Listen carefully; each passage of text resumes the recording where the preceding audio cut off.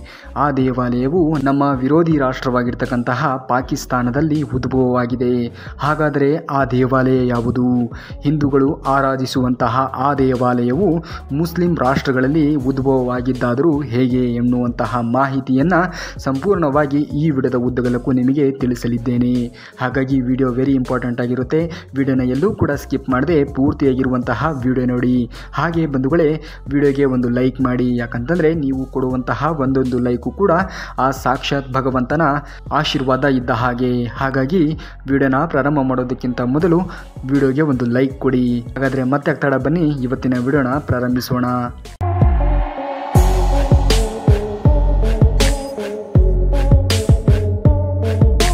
ಹೌದು ಬಂಧುಗಳೇ ನೀವೆಲ್ಲರೂ ಕೂಡ ಕೇಳಿದ್ದು ನಿಜ. ನಮ್ಮ ವಿರೋಧಿ ರಾಷ್ಟ್ರವಾಗಿರ್ತಕ್ಕಂತಹ ಪಾಕಿಸ್ತಾನದಲ್ಲಿ ನಮ್ಮ ಹಿಂದೂ ದೇವಸ್ಥಾನವೊಂದು ತಲೆ ಎತ್ತಿದೆ ಆ ದೇವಸ್ಥಾನವು ಸುಮಾರು ಸಾವಿರದ ಐನೂರು ವರ್ಷಗಳ ಇತಿಹಾಸವನ್ನು ಹೊಂದಿದೆ. ಬಂಧುಗಳೇ, ಈ ದೇವಾಲಯದ ವಿಶೇಷತೆ ಏನೆಂದರೆ ಈ ದೇವಾಲಯವನ್ನು ಯಾವುದೇ ಮಾನವನಿಂದ ನಿರ್ಮಿತವಾಗಿಲ್ಲ. ಹಾಗೆಯೇ ಯಾವ ರಾಜನಿಂದನೂ ಕೂಡ ಈ ದೇವಾಲಯ ನಿರ್ಮಿತವಾಗಿಲ್ಲ.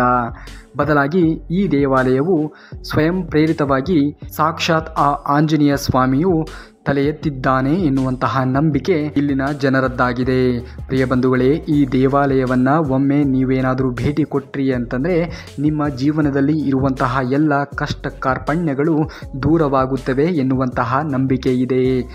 ಬಂಧುಗಳೇ, ಈ ದೇವಾಲಯದ ಪವಾಡವನ್ನು ಅರಿತಿರ್ತಕ್ಕಂತಹ ಸ್ಥಳೀಯ ಜನರು ಮಾತ್ರ ಈ ದೇವಾಲಯಕ್ಕೆ ಭೇಟಿಯನ್ನು ಕೊಡುವುದಷ್ಟೇ ಅಲ್ಲದೆ, ನಾನಾ ಭಾಗಗಳಿಂದ ವಿದೇಶಗಳಿಂದಲೂ ಕೂಡ ಭಕ್ತರು ಬಂದು ಸ್ವಾಮಿಯ ದರ್ಶನವನ್ನು ಪಡೆದು ಪುನೀತರಾಗುತ್ತಿದ್ದಾರೆ. ಜೊತೆಗೆ ತಮ್ಮ ಜೀವನದಲ್ಲಿ ಆಗಿರುವಂತಹ ಕೆಲವು ಕಷ್ಟಗಳಿಗೆ ಪರಿಹಾರವನ್ನು ಕೂಡ ಇವರು ಪಡೆದುಕೊಳ್ಳುತ್ತಿದ್ದಾರೆ.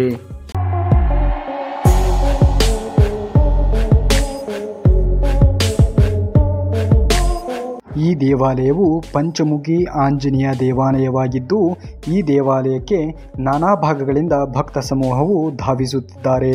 ಏನೇ ಆಗಲಿ ಬಂಧುಗಳೇ, ನಮ್ಮ ವಿರೋಧ ರಾಷ್ಟ್ರವಾಗಿರ್ತಕ್ಕಂತಹ ಪಾಕಿಸ್ತಾನದಲ್ಲಿ ನಮ್ಮ ಹಿಂದೂ ದೇವಾಲಯ ಇರುವುದು ನಮ್ಮೆಲ್ಲರಿಗೂ ಕೂಡ ಹೆಮ್ಮೆ ತರುವಂತಹ ವಿಚಾರವೇ. ಇನ್ನು ಬಂಧುಗಳೇ, ಎರಡು ಸಾವಿರದ ಹನ್ನೆರಡರಲ್ಲಿ ಈ ದೇವಾಲಯಕ್ಕೆ ಕೆಲವೊಂದು ಮಾರ್ಪಾಡುಗಳನ್ನು ಮಾಡಿ ಸಾರ್ವಜನಿಕರ ದರ್ಶನಕ್ಕೆ ಬಿಡಲಾಗುತ್ತದೆ. ಬಂಧುಗಳೇ, ಈ ದೇವಾಲಯವು ಕೇವಲ ಯಾವುದೋ ಒಂದು ಜಾತಿಗೆ ಮಾತ್ರ ಸೀಮಿತವಾಗಿರದೆ, ಈ ದೇವಾಲಯಕ್ಕೆ ಮುಸ್ಲಿಮರು ಕೂಡ ಧಾವಿಸಿ ಪ್ರಾರ್ಥನೆಯನ್ನು ಮಾಡಿ ಆ ಆಂಜನೇಯನ ಕೃಪೆಗೆ ಪಾತ್ರರಾಗುತ್ತಿದ್ದಾರೆ.